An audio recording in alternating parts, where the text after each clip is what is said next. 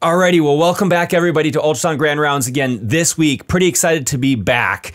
We took a little bit of a break last week for spring break. My family and I were traveling uh, all over the country, or at least over a certain portion of the country, and we were doing a whole bunch of fun things, seeing the sites, not really doing ultrasound, but we're back. We're hitting it again this week. Uh, pretty excited. We have a guest speaker in the studio with me today. So today we're going to talk a little bit about gastric ultrasound. This is something that was originally introduced to me by my anesthesia colleagues. Uh, we don't do a ton of it in the emergency department, mostly probably just because we don't know a lot about it. But this is something that anesthesia folks do a lot. And so I am really excited to have one of our anesthesiologists here talking to us today. So we have on the line Dr. Mike Leeds, who's one of our attending anesthesiologists, and also one of our senior residents, um, a Dr. Dan Schwartz, who's one of our fourth year residents. He's interested in doing some anesthesia critical care next year. And um, Dr. Leeds said he had a spectacular lecture on gastric ultrasound. So I'm really excited to hear this, to learn some stuff, and maybe find some little elements that I can incorporate into my practice down in the emergency department. All right. thank you very much for having me, uh, Dr. Tabbitt and the rest of the department. Just want to say thank you, and thank you for Dr. Leeds for kind of overseeing a lot of my research. Um, so today, what we're going to talk about, just kind of a brief overview of gastric point of care ultrasound.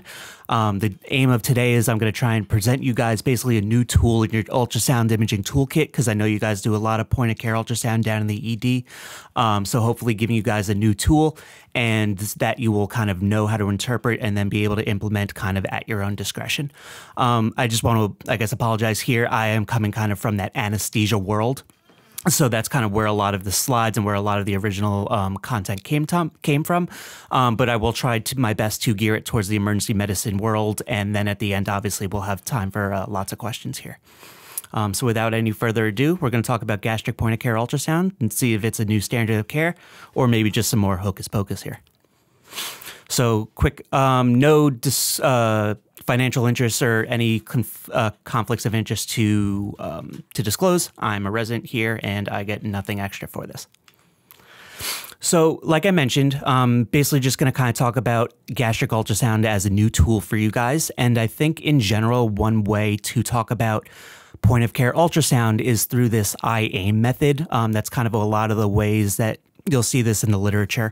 And it's just an acronym I indications, A acquisitions, the I again interpretation, and then your medical decision making. Basically, when do we use the tool? How do we get the tool?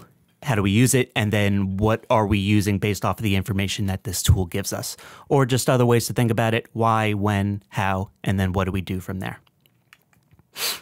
So, gastric POCUS at a glance, um, it's an emerging point of care tool. A lot of the research here is more grounded in the theory, and a lot of the validations are still coming out. Um, so it's almost kind of like a nice wild west with regards to point of care ultrasound and gastric in particular but it seems to be a really nice emerging point of care tool allows for rapid bedside assessment of stomach contents it's both qualitative and quantitative as we're going to get into a bit um, it's easy to learn. So about 33 scans at the minimum. One study showed you can get about 90% accuracy rate. One thing to note though is that it's pretty binary with regards to how it stratifies um, gastric contents. Either the stomach will be relatively full will be either full or empty, and therefore we'll get either a low or a high aspiration risk.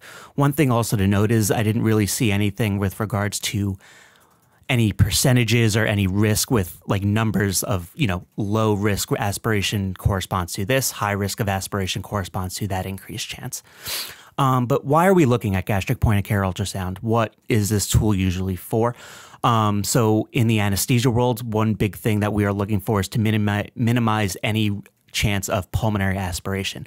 This is a relatively uncommon event in the um, operating room, about one to 2,000 or 3,000 general anesthetics. But when it does happen, it is a very associated with very high morbidity and mortality rate um, to the point where about half of anesthesia related mortality is airway related. Um, one thing to note that if you guys do have an aspiration event, there's about three of the most well established factors of your morbidity in a gastric in a aspiration event. Firstly, are you aspirating solid particulate matter? Are you aspirating a volume greater than 0.8 cc's per kilogram? And are you aspirating contents that are very acidic with a pH less than 2.5? So, why do we care about this? Where's gastric point of care ultrasound? Where's it kind of fit into this um, kind of world of what we do with uh, point of care ultrasound? So, this first study I want to direct you to, this first table here, came out of a study in um, New Delhi in India. So, an emergency emergency department they took a 100 um, um, urgent or emergent intubations right there in the emergency department, and they did gastric point of care ultrasound on all of them. Um, and one thing that I want to point out is that of these 100 people, eight had gross, obvious macro aspirations. Um, and then you would imagine that would maybe even be more depending on if you have micro aspirations. But I just gave you that number of, you know, it's relatively uncommon in the OR world, but it seems that in the uh, emergency room with uh, everything that you guys deal with, it's a much higher, um, much more highly prevalent problem that you guys see here. But then what this study then was also able to do is that if you see here in this kind of red highlighted um, box down here, that they were able to show that a cutoff, basically, if you have a your gastric volume, if it's greater than this cutoff here, that served as a benchmark that was basically a hundred percent sensitive for um, for being for for being a predictor of aspiration and a 92% specificity rate with regards to aspiration events. Um, and this can be pretty, I think, well discerned here in the second table down here. So, what they did was they took 40 patients that they knew were um, that they knew were full, and then they took 40 patients that they knew were empty and basically had a few blind um, clinicians just ultrasound them. And in the full stomach group, the ones that were actually full stomach, they were able to catch them being full stomachs 40 out of 40%, 40 out of 40. So literally 100% success rate. And then in the negative group, um, there was only one false positive, but no false negative. So again, we're getting that 100% sensitivity with a very high specificity. One thing to note with this second group is, or the second um, study here in table two, or that third table, is that these were clinicians that had had over 100 studies under their belt. So again, it's a tool, and like any other tool, it really has to be honed. Um, but when that is a well learned and established and honed tool, it really does give you very accurate information. And then there's this third study here that I don't think applies too much for you guys in the emergency medicine world, so I'm just going to kind of blow through it. But basically, in 912 um, fasted patients, that 32 were still full stomach, so about six and a half percent of your patients, even if they say they are full stomachs, that they have been NPO greater than eight hours, they just by chance will be actually still full stomach. So even in patients with high probabilities that you're suspecting that are negative stomach, if you have the time, you can um, you can consider putting probes on these people as well. So I kind of touched on it, but just your indications. When do you use this uh, gastric point of care ultrasound? Um, so, like I said, in the anesthesia world, we use it pre anesthetic aspiration risk assessment tool. But for you guys, it's basically anytime you're uncertain about their prandial status, anytime you have any suspicion that they're full stomachs, um, or you're just really uncertain about what their gastric status is.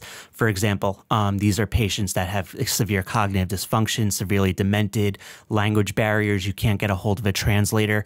Um, you know, an image is worth a thousand words in that in that case um, or if you have medical conditions that increase your suspicion of gastric emptying. Eh, uh, for example, people with diabetic gastroparesis, anyone on Ozempic or any other GLP-1 agonist therapy, these are very um, kind of in vogue medications for weight loss and are really popping up a lot more than we used to see them.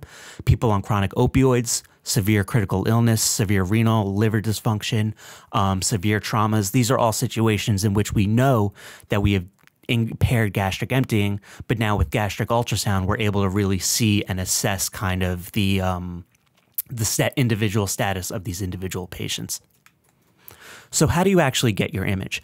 So, it's actually a relatively, I think, simple study. It's kind of uh, epigastric sub right under the xiphoid. Um, you just kind of start there and you can sweep and rotate to kind of find your antrum at the level of the aorta. Now, the important part there is at the level of the aorta. So you use your liver as a window and that'll shoot into the um, to the antrum. But as you can imagine, the stomach runs, the antrum runs laterally. It starts a little bit on the left and can run right in the, into the pylorus and the duodenum. So that finding it at the level level of the aorta is kind of crucial because that shows you the most dependent um, site where the fluid is most likely to collect there. So if you don't find it at that level of the aorta, you are um, liable to maybe get a false negative there because that fluid's not actually collecting where you're viewing it. If you're not able, um, other maneuvers you can do to kind of clarify your image, you can kind of heel and toe to uh, optimize your acoustic reflection. Really try and avoid try and really catch the antrum cross sectionally as best as you can. Um, and then one thing to note is that this has to be done ideally in two positions. So you start supine, but then you have to put them in the right lateral decubitus position because that will make, again, that gravity just kind of pull everything down into where you have your probe.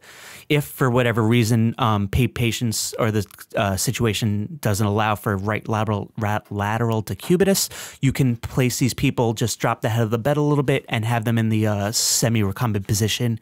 It's a suitable alternative. Um, to right lateral decubitus, but not as ideal. But if you can't get right lateral, then definitely try and get your semi-recumbent uh, view as well. So basically a lot of gastric point of care ultrasound is a lot of ultrasound in general. It's really just applied anatomy. So we're just going to kind of just go over the anatomy and then just kind of talk about what you're going to see on your ultrasound. So as I mentioned here in this top left, the gas, the stomach itself is composed of a few parts. So coming down from the esophagus goes into the cardia, your esophageal sphincter is here, um, into the main portion of the stomach, which is the body, and then you have your fundus on superior aspect, and then it, the stomach is basically a, a funnel, and then that funnels down into the antrum. And this is where we are catching our stomach at a cross section because that's basically the best. As you can see now, that's the most uh, sensitive area to see it. Everything collects down from the cardia and just kind of pools into the antrum. And then when you put these people in the right lateral decubitus, that everything falls even more, making it even more specific. So one thing to note here is, as you can see, kind of when it's overlaid with the aorta, you can give it, it you can see now how that gives you your spatial orientation with regards to left and right or laterality. Um, your liver and your SMA will give, or your pancreas can kind of give you superior and inferior information, but that trying to capture the aorta will show you that you're in that right lateral uh, or sagittal plane. Um, and then here on the right, just kind of a CT version of what you're going to see. So the A, the antrum, that's our point of interest. Um, but then, like I mentioned, it's important to have a few landmarks to know that we are catching the antrum where we want it. So I mentioned the liver is going to kind of come up and over and serve as your um, your your acoustic window here. Your pancreas is going to be posterior, and then your aorta is going to roll, run um, all the way posteriorly, longitudinally to your image here and that will tell you that you're on the right plane, um, kind of from a laterality perspective. And just one thing to note: try and make sure that you're seeing the aorta and not tripping up with the IVC. Like, um, for example, like for an IVC view uh, for subcostal. One thing to note also is that you can see there's the stomach is basically made of a bunch of um, different layers. Different layers. On the innermost, you have the um, gastric fold, your air mucosal interface, your muscularis mucosa. With the probe that you generally use is the abdominal probe. Usually, what you are seeing is that thick hyperechoic um, muscularis propria.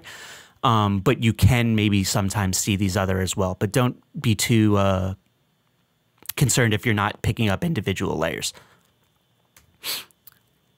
So, kind of again, we're going to go into the actual individual um, images and but ways to look at it is basically what shape is your antrum, how thick is your wall, and then kind of what does your content look like on the inside. Is it nothing? Is it uh, heterogeneous? Do you see speckles and spots, or is it just kind of a big black blob? And I think through this, we're just going to kind of just go through this table and just show um, just examples here.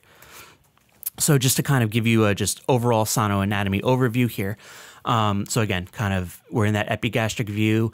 We see skin, rectus abdominis shoot through the liver, and right there is our gastric antrum. And posterior again, um, is your pancreas. You'll sometimes see, ideal, you'll see um, another artery that's the SMA coming off of the aorta, coming off the uh, coming off the plexus. But then it's trying important to catch this aorta all the way deep here, and again, that gives you your um, just shows you that you're catching your antrum at the right level. So, what does an empty stomach look like? So, for starting with an empty stomach, you'll see this kind of big black kind of ring and then almost this um, concentric inner fold here. You'll hear this called kind of a bullseye sign. Um, and literally, what you're seeing is the stomach is so collapsed that the walls are literally just folding in on themselves. And again, here's your aorta back here, liver here, and then here it seems that we can't really pick up. This might be SMA here, not too um, sure here, but again, if you see your liver and your aorta, then you know you're catching your stomach kind of at that right level. And let's see here. I have a video. Let's see if it plays. If not, no worries. Some technical difficulties here. Okay, so the video it doesn't like was working. Um, but just one thing I want you to note is that everything is great, theoretical, easy peasy on still imaging, but there's a lot of kind of motion artifact, and you really got to keep your probe um, there for a few seconds as you know belly breathing, belly moves up and down, diaphragm moves things in and out. Um, so while clean still images look nice and pretty, it can be a lot more nuanced on a moving image. And therefore, also, I recommend, you know, just kind of save a clip and then go back and try and find a nice still image um, to kind of analyze instead of. And then as you get more proficient, you'll be able to kind of do your analysis in real time. But I think starting out, it's easy to, or a lot easier to just kind of focus on getting images, save your clips, and then reviewing those clips um, kind of when you can focus better. So early stage solids or solids come in basically two flavors. You ingest a solid, and the first, you know, the first stage, that early stage, when it still hits the stomach, there's a lot of mixing going on. Air, water, just everything, fluid or solid, everything's just kind of mushed together and just um, nothing is separated, and that will give you just this really hazy picture. Um, this will be sometimes called like a a, a stained glass. Um, or frosted glass picture appearance. And then sometimes what you might see is just such a um, such a high amount of solids and such density that you you just basically can't see through it. You see this kind of ring down artifact here at your antrum, and you see black behind it, and it's just there's so much solid again ring down artifact that you just can't see past it. Um, and you would be inclined here almost sometimes to say, What am I looking at? Do I see antrum? Is this stomach at all? And I think that's where, again, your secondary landmarks, your liver, your aorta, if you can see your SMA, if you can see a pancreas, those will clue you in to say, Listen, I'm not seeing antrum because it's so full, or this little speck here is the antrum casting just a shadow down everything else. So, again, solids early stage, while they might be some of the most obvious signs, they might be some of the most difficult to kind of um, interpret at the same time there. Um, so then, like I said, you ingest a solid. There's a lot of kind of mixing around. Everything's going down, and then things just kind of start to settle out. Um, little bits of solid just kind of start to settle out, and then the fluid and the air just kind of starts to collect and form little pockets. And this here, you'll start to get kind of a starry gazed almost appearance, and that's kind of what you'll see in the literature. Sometimes it is referred to, um, kind of that starry night pattern. Um, but what you'll notice here, it's kind of on a light backdrop versus what I'm going to show you here is that air bubbles, if it's clear fluid, is kind of on a black backdrop. Um, so you guys know by now it's, you know, solids kind of appear more hyperechoic, whereas fluid is more hypo, if not anechoic. So, as I touched on, um, here's now what kind of clear fluids will look like. And as you can imagine, just clear fluids, just kind of a hypoechoic, just nice round black circle. What you'll sometimes see is kind of flickers of air kind of coming in and out. That's just air bubbles, but that's still a clear fluid. Um, so, you know, it might look similar to that late stage solid. But again, here on that late stage solid, you'll see your backdrop is almost kind of entirely white, if not gray. Whereas here, your backdrop is, you know, you have a few speckles really and just a, uh, just a sea of black. So we've got our images. We think we know what we're looking at. What do we kind of do with it? Is this a full stomach? Is it not? So, kind of it works in generally kind of a two step fashion here. First is kind of a just general qualitative examination. Again, you're doing this both supine and lateral. So, what do we look at? Basically, what does my probe look at, or what did my probe look like uh, versus those three stock images? Are we empty? Do we have clear fluid? Do we have solid? For the extremes, it's pretty cut and dry. That's the relative end of the analysis right there. If you see folds, that kind of bullseye sign, you're negative, you're, um, you're an empty stomach, low aspiration risk. If you see solids, those kind of speckled against that gray backdrop um, or just that kind of frosted glass appearance, then you know you have solids, you're a full stomach, high aspiration risk. But what about that clear fluid? That kind of falls in a sort of gray zone. Um, and that's where we now do a sort of secondary analysis. Now we do a quantitative examination to actually quantify that um, gastric volume. So what you do is you are able you you through your um, through your images, you take your caliper tool and you draw a ring around the antrum. Try and include the folds as well, or the gastric antrum wall as well, not just the lumen itself.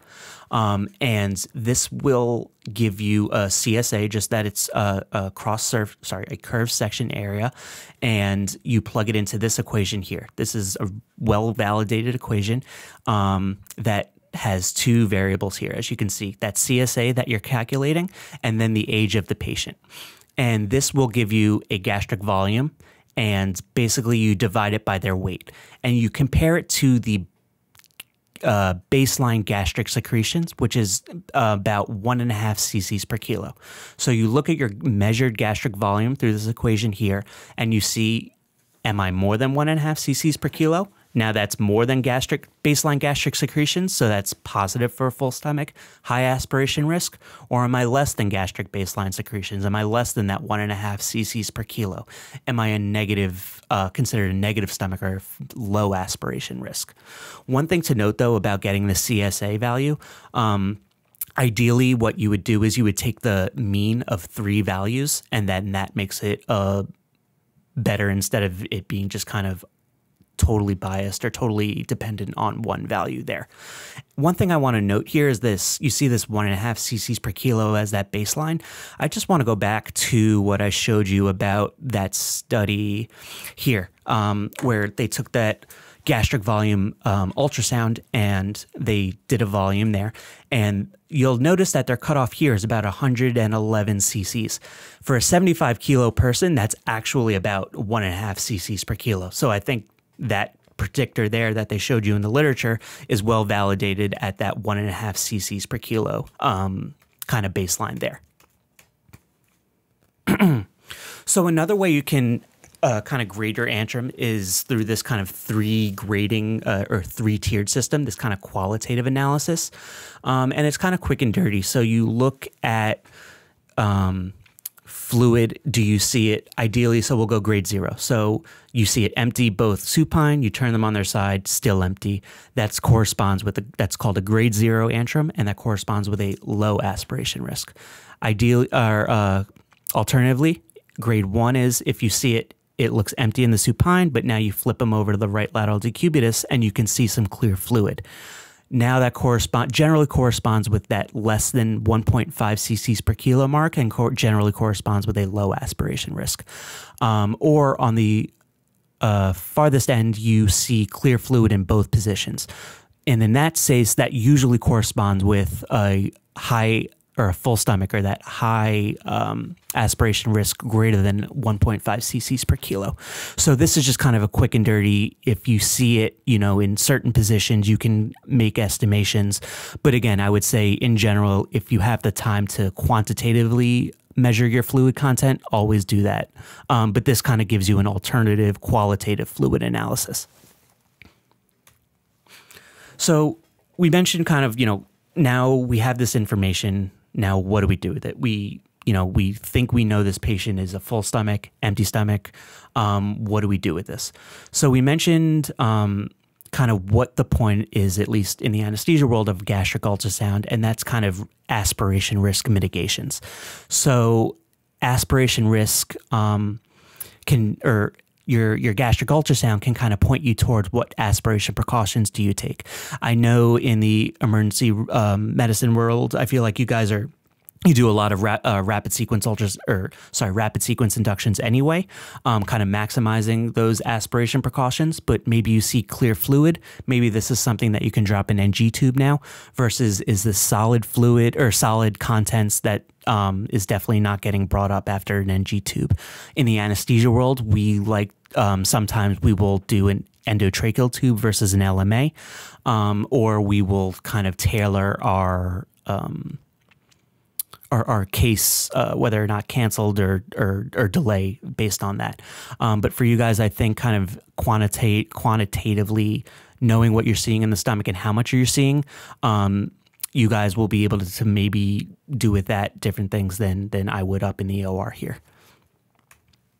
Um, so, just a few populations that I wanted to just touch over and just how the world of gastric POCUS applies to them. So, generally, up until now, I had been talking about just your general adult, um, non crazy obese BMI under 40. So, we're going to look at three basic uh, special populations now, and I'm just going to kind of talk about how gastric POCUS applies to them. So, in the pediatric population, it's a very well validated, it's still a well validated tool. Solids still look like solids, fluids still look like fluids. Um, empty stomach still looks like empty stomach, but your equation calculation is going to be different. Um, your factors are still the same. You're still measuring that uh, cross sectional area and you're still um, factoring it for an age, but um, your your your volume calculation is different. So that's one thing to note. Also, one thing to note is that for pediatrics under 18, it's validated only in your if you get less than one and a half cc's per kilo. So if you do this quantitative analysis and you're getting and it's showing you that you have a negative um, or an empty stomach, you can pretty well rest your hat on that. But if you see if your if your number is giving you greater than that 1.5 cc's per kilo mark, then um, they it, it unfortunately isn't as well validated, and it still might be sensitive, or it still might be um, still might be empty. With regards to that gastric volume equation I had mentioned earlier as well, um, it's very well validated into the BMI less than 40 category, but then after that, it starts to diverge. So, with your vastly morbidly obese, um, your gastric volumes are going to be uh, not as reliable. But again, if you still see that bullseye appearance in an even morbidly obese population, that still suggests an empty stomach. And obviously, with the um, morbidly obese, it's a much more technically challenging uh, study but and with a much deeper antrum, but it is definitely still feasible. Likewise, also with the pediatric population, one thing to note is that for these people, just using a linear probe with these um, with these kids is generally sufficient. But anyone else over eighteen, you're usually just going straight to your uh, to your curve curve probe on a abdominal default. And then also the pregnant population. Um, so unfortunately, it's not a great validated tool with regards to pregnant patients. Um, it seems that if they are still grade zero, like you know, negative or or an empty stomach will still look like an empty stomach in patient in pregnant populations, but the grading and that kind of quantification of those gastric volumes is still um, greatly debated. And then, so, you know, I talked about all these great things about gastric POCUS, but, you know, kind of what are some limitations? When, when do you have to kind of consider not using gastric POCUS. Basically, it's anything that's going to distort your gastrointestinal anatomy. So, any patients with history of gastric resections, bypasses, gastric tumors, large hiatal hernias, any previous fundoplications, and again, anything that's going to alter your your gastric anatomy to the point where your calculations are going to kind of now be skewed. Um, and then again, like I said, a lot of this research and those quantification values come from that right lateral decubitus position. Um, and that's really ideally needed to fully access your gastric contents, which in a critically um, critically ill or very very acute um, clinical scenario might not always be feasible. But again, I just want to give you just introduce you guys to this new tool. Um, I think it's a very nice tool to kind of again quick and dirty, just kind of bedside rapid assessment of gastric contents, and then towards the ultimate um, objective of minimizing aspiration and uh, yeah, exactly that minimizing aspiration and how to do airway management as safely as possible. So, with that said, um, I just want to actually just shout out a very nice resource called gastricultrasound.org. Um, this is where most of my uh, kind of example images were coming from. Um, and it really is just a fantastic resource, really just can kind of show you everything you need to do. Um, and has tons of examples, both uh, still images and movie clips to kind of show you what different stomachs look like in different populations in different scenarios. So um, that's all I got. Thank you very much. Appreciate you guys, and uh, happy to take questions. Well, thank you so much. That was a that was a very good um, summary of gastric ultrasound and just kind of how you do it, why you do it, some of the numbers. I know one of the the things that I've struggled with as I've tried to dig into this a little bit is just okay, fine, we can you know find the structures and maybe put some calipers on it, but what do these numbers mean? And do I have to memorize this whole nomogram? And so I think boiling it down to that quantitative and then that qualitative uh, way of looking at it was was super duper helpful just to kind of give us the kind of all the details, but then a quick and dirty like how do I get it done um, at the bedside. So thank you for that. That was that was very helpful. Um, I have a couple questions. Mm-hmm. Um, maybe we'll see. Does anyone else have questions real quick before I jump in? Let me check the chat here. Nothing in the chat. Anyone have questions real quick before we before I get to my questions? Hi, um, Dr. Leeds here. Yeah. Um, I, I don't necessarily have uh, questions. I, I thought that you know when I when I first when Dr. Schwartz first uh, stated that he wanted to do this for his Grand Rounds product. I was I was incredibly happy, and I I know it turned out so well for us. And I know that some some you know some things to add, not necessarily questions. Um, uh, just some of the technical stuff that I've seen with everyone. So gastric ultrasound is not entirely new. It's been around for you know. There's been studies coming up for like a, for about a decade already about it. Um, with the new explosion of, of GLP agonists and gastric motility slowing agents, we've seen a lot more of our patients come in with you know evidence of of regurgitation and full stomachs, and and we kind of had to. Uh, the ASA put out a, a, pretty urgent statement about how to handle these type of patients. Um, you guys in the ED don't necessarily have the luxury of canceling a case when you do see a full stomach uh, with gastric ultrasound or delaying intubation because your intubations are are you know emergent uh, intubations for a reason. So I would I would guess that that's would be, be a reason why uh, certain aspiration rates would be higher in the ED um, than anesthesia. Um, uh, but I want to talk about kind of um, image acquisition a little bit.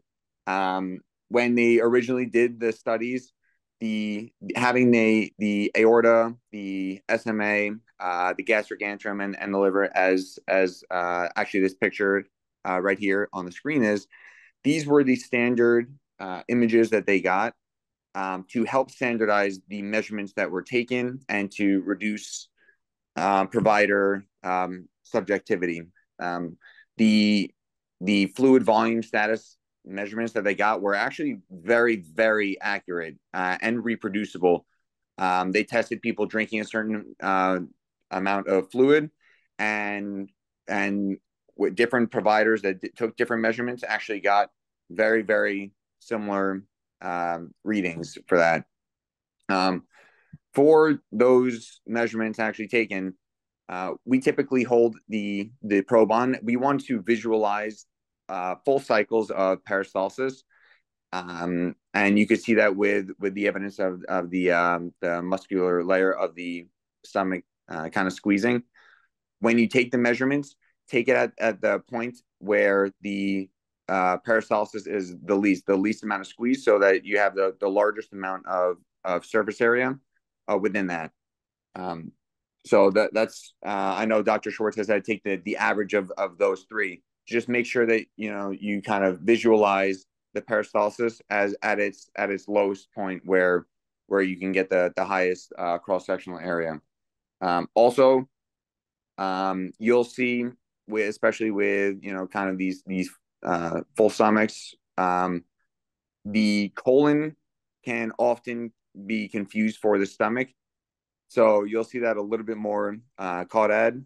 So just just make sure you, what you're really looking for is that thick muscular uh, layer, that kind of hypoechoic ring around the stomach to kind of minimize that as well. And one last point uh, that I would like to just add would be um, so why do we take a uh, even image in the supine position if we're just going to turn to right lateral decubitus? And what does that show us? Well, if they have a full stomach in the supine position, that is definitely a full stomach. However, if you don't see anything or, or you, you are unsure, um, you can't rule out an empty stomach just because you you see an empty stomach in the supine position. So it, it takes very little time to put place the probe on in supine. If you see that full stomach, that is definitely full stomach. However, if, if you know if you then don't see that full stomach, turn them to right lateral and then and then get that same standardized image um, and you'll see that just due to gravity alone uh, oftentimes that will be uh, actually revealing to be a full stomach. And one last uh, side note um, just kind of just for future thought the 1.5 ml per kilogram is a very uh, they're, they're finding out it's actually a very conservative uh, approach to what a full stomach is. So we're, we're going to go by 1.5 until they tell us otherwise but they're kind of finding now that that that residual volume is uh, kind of upwards of that. So but again uh, dr schwartz had an uh, amazing presentation. I just wanted to add those. So thank you Oh, thank you very much. That was helpful just to have kind of that additional feedback, um, you know, about the about the studies. And you, you touched on a little bit, you know, like I was writing down some questions during the the presentation, um, and then as I was writing them down, Dr. Schwartz was answering them. and then as I, I was looking back over them, Dr. Leeds, you answered some more of them, or at least in partial, you know, partially kind of hit on them. So, but maybe I'll clarify just a few more of these questions. Um, you mentioned that if it's empty on the supine, you have to turn to right lower right lateral decubitus. And I guess the original question is Is there a size difference between the two? And it sounds like the answer is probably yes. There is a size difference between the supine and the right lateral decubitus, especially when you're trying to call it completely negative. Um, probably, I guess the corollary that I can think of is like when we do a FAST exam, like mm -hmm. we don't call a FAST negative until we've seen all the windows as negative. And if one of them is not negative or is not seen, we just call it indeterminate. And so, mm -hmm. like the similar logic, at least, like you have to have these two views as empty to say empty. Otherwise, it's indeterminate or you know you can't say for sure. So sounds like that's probably the answer to that question of is there a size difference between um, the supine and the right lateral decubitus, right? Um, yeah. So I. am Not sure if I would describe it necessarily as, or maybe I'm just misunderstanding it as a size difference, but it's just a sensitivity difference for sure and a dependency difference. So like I mentioned kind of that stomach is funnel shaped and when you're supine that stomach is or that funnel is kind of running more laterally. Mm -hmm. But then when you go on your when you flip them onto the right side that funnel is much more vertically or much more vertically oriented. So yes, in that sense it it might now get bigger or appear to get bigger um, because now literally the stomach is now full with the contents. Um, so in that sense it may be a size difference but again just yeah that it's a much more sensitive view than that supine. So again, always erring on the side of safety, like Dr. Leeds mentioned. Again, you see full stomach supine, you know it's going to be there in, a, in the in the right lateral. But again, you can't rule out if you see negative or empty in, in supine, you you can't just stop it there. You have to now uh, per pursue that in the right lateral. Yeah, I mean that's important physics property of ultrasound in everywhere, right? Gravity pulls fluids to the least dependent space. And so we're just creating a space of least dependency um, when we do that rolling from exactly from supine to right, right lateral cubus. So that makes perfect sense. Um, the other question, um, I have a couple more. Um, you mentioned the 1.5 milliliters per kilogram um, as your cutoff for volume. Now, Mike mentioned that that it's maybe a little bit of conservative value, but we're going to go with it, right? That's what we're using. Mm-hmm. Um, let's say 1.5 milliliters per kilogram uh, as the volume that we can say we're shooting to be underneath. Is that um, going to be ideal body weight or is it actual body weight? Because to me, it doesn't make a ton of sense to say, okay, you take the same person, same height person, um, and you know one of them is 150 pounds, the other one's 250 pounds. All of a sudden, one person gets a huge allowance for or stomach size, but there's no general morphologic difference of the hmm. frame. Um, it's just the the adipose tissue around it. So, is that ideal or actual body weight? Um, so that's a great question that I unfortunately actually don't have the answer for. I would imagine it's ideal body weight in the literature, though I actually don't know if I saw really anything clearly distinguished. But I would imagine ideal would be the most, again, would be the safest value to kind of use, kind of like ventilating someone at four to six cc's per kilo. Per, It's ideal body weight. Again, these kind of ways we imagine anatomy sizes or you know the, the size of your lungs the size of your stomach generally tends to be from ideal body weight generally basically you know predictor of height um, more than weight then. So I, I believe dr leeds you can correct me but i believe it's ideal body weight. Um, but that would definitely something be something to, to maybe verify on your own. I'm gonna triple check but i remember looking this up at one point and actually being surprised that it was real body weight um, but I will definitely, before I make that as my statement, um, clarify that and get back to you. But I, I was actually, I just remember being like a little bit shocked that it actually is um, more than ideal, or at least uh, an adjusted body weight. Yeah, that's interesting, and it may just be something as simple as the methods were sloppy in the research studies, like the original studies, where they just picked um, you know, we're gonna we're gonna pick weight and we're gonna assess this thing. Um, and if future research parses out ideal versus actual, there may come out to be some some difference. I don't know. I mean, I'm just I'm I don't know this literature, so I'm just speculating. But um, I know a lot of times when we have these parameters that we utilize, it's because some study did it that way. Um, and we dig into why they did it that way, so I don't know, I just did it that way. So it may just be yeah. that that's an area for a, a budding young researcher to kind of to, to get, dig into further to, to clarify the physiology. So um, cool. So the last question I have, um, you know, I think one of the, and you hit on this nicely. I, I think is you were very insightful to say, okay, here's the anesthesia side of the world, but we're speaking to at least, you know, in the live version of this, right, a primarily emergency medicine based forum. Now, you know, online on the YouTube channel, we have, you know, people from all over the place with all sorts of specialties. And so, you know, undoubtedly, you know, there's people that, you know, you spoke to, spoke their language, you know, um, in terms of elective cases. But for us, like, I don't have the choice to, to postpone someone's crashing airway, right? They're dying. Um, hold on a minute, don't yeah. die yet. Let me let me let your stomach empty here yeah. for a minute, and then we'll get you intubated, right?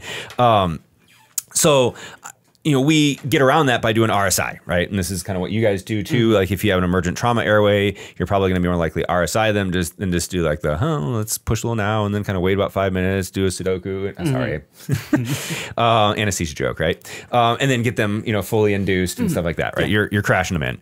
Um, so, um, I guess speak to the maybe the naysayer emergency medicine physician mm-hmm. saying like, look, man, there are priorities and there are priorities, right? ABC, and we're talking about G for gastric and then U for ultrasound. Like, why should I do this in my RSI patient? Like, is this going to affect maybe how I set up the RSI, maybe how I position the patient, head of bed up, you know, going to you know, it, it, can this be effective in terms of helping me manage my RSI patient in the emergency department versus kind of like a, a delayed induction?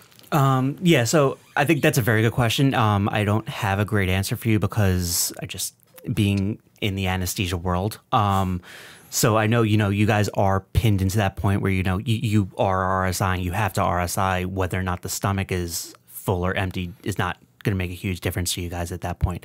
I think with regards to kind of the nature of the fluid, whether it's clear, whether it's not, mm-hmm. whether it's amenable maybe for suction, nasal de- uh, NG tube decompression versus it's just air um, or is a solid content, I think that maybe can kind of guide you towards a management. Maybe now there's a sort of pre-intervention you can use to maybe more um, to increase your safety before you kind of go ahead and secure that airway, before you go ahead and take away those airway reflexes. Mm-hmm. Um, that would be kind of the most obvious in my mind. Um, but other than that, uh, nothing immediately is kind of coming to mind here. Sure. And, you know, one of the things I've learned over the years, um, you know, emergency medicine is is a, is a unique field, right? For many many reasons, um, largely because it's so brand new, right? And we steal a little bit of everything from a little bit of everyone, mm-hmm. right? And we have to be multilingual and be able to talk to everyone. Um, and you know, there's always in any situation, there's always gives and takes, right? There's there's a trade off. Like, hey, the most ideal way to do something is A, right? But given the circumstances, I don't have the luxury of being able to do A, so I'm going to do B, and uh, I'll have to give a little on, on A, right? Um, and to put that in more concrete terms, like in the airway world, like in the most ideal world, I would be gastric empty and I would, um, you know, have everything all prepped and ready to go.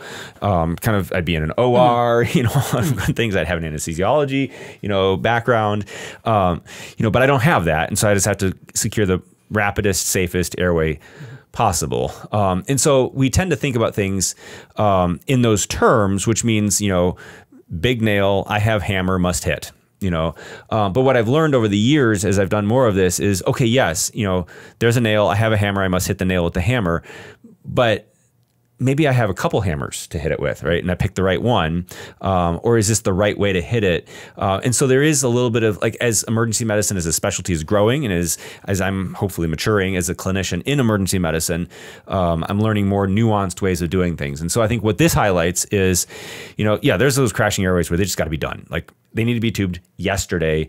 No time for anything. Let's let's roll. Let's get this in. We'll deal with whatever comes up, literally, um, in the process. And then there's those other airways, and I think the bulk of our airways are probably like, you know, it needs to be done in the next ten minutes, but I have ten minutes to prep as much as possible so that when the rubber hits the road and I finally push that paralytic and the deal's done and it's go time, like that go is going to go as good as possible, right? And so I think this may be an area where, you know, when there's concern, potentially we could throw in some ultrasound and say, okay, what are the what are the conditions? I can't fix any of them, but what are the conditions that I can at least be anticipating as I'm getting into a very high risk situation? So, no, I love it. I think this is a great, you know, thing that you know probably should be a little bit more ubiquitously utilized um, in the emergency department. And then I guess the other area where this would be helpful for us is when we do procedural sedation, and that's probably the the more elective and potentially it depends how you slice it. The potentially higher risk uh, situation. Maybe the patients come in healthier, but you know that means the baseline is a lot better than someone mm-hmm. who's coming in crashing, burning. Um, and so, um, having a good understanding of you know, yeah, we look at the Mallampati score, and you know, you know, we make sure they have normal heart tones, but really, do the heart tones affect the sedation? Probably not. But then you know, their stomach probably mm-hmm. does. Mm-hmm. And so, having that assessment um, probably is not a bad idea. So, no, um, so that's great. I, I, mean, I thought this was a super helpful conversation. Um, any other questions, uh, comments from my emergency medicine colleagues? Uh, Dr. Leeds, did you have anything else you wanted to comment on or or share? No, I think uh, I think everything that I could add. That was that was a great discussion. Um, I'm still looking into the uh, ideal versus adjusted stuff, um, but uh, I I don't know. I, I keep learning more and more every every day. There's always going to be um, you know, uncertainty in uh, not being able to, you know, make the diagnosis of a full stomach and or clear and you know um, just you know abdominal tissue, um, other reasons why people might you know you, you can't get the window, so you need to use your your clinical judgment. And I'm seeing reasons why I can't make that um, definitive uh, clinical judgment every every day. So um, you guys we'll see, you know, as as more and more people are on the GLP agonist as as becoming a thing, um, you I think you should take a you know scan everybody's stomach, um, and just to, just because you'll be able to see they're like I haven't eaten in since yesterday, and, you know it's 8 p.m. the night the next night,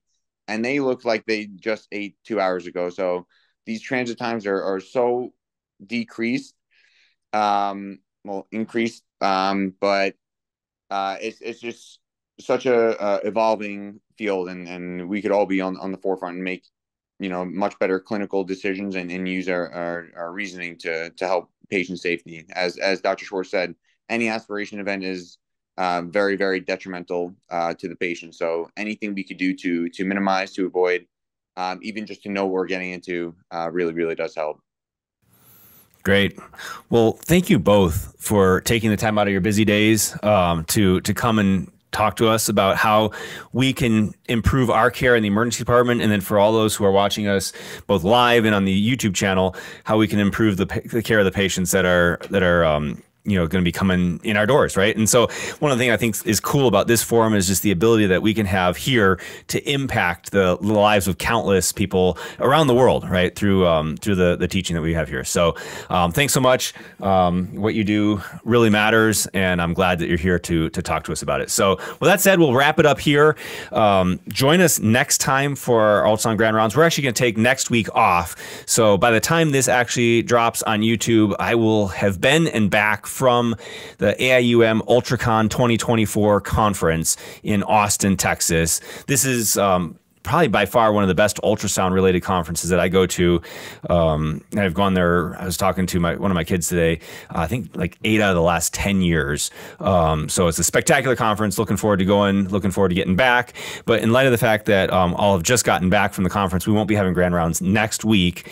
Um, but then we'll return the following week uh, with some more stuff. I know. I think the following week we have abnormal first trimester ultrasound. So we're going to get back to the OB stuff. Uh, talk a little bit more about obstetric ultrasound sounds, and we're lining up some really cool talks for the rest of the academic year. So you'll definitely want to stay tuned. Um, if you're here in the live Zoom link, it's the same Zoom link for the rest of the academic year. For those of you who are joining us on the YouTube channel, um, keep coming back. We'll keep dropping these videos. Hit that subscribe button, uh, share it with your friends, hit that notification bell so you can get these videos uh, presented up to you the moment we drop them, uh, so you can get this information. Uh, we really appreciate all that and all the support that you guys have been given. So, with that said, let's take let's wrap it up here. We'll see you guys next time for for more ultrasound grand rounds. Thanks, guys. Bye.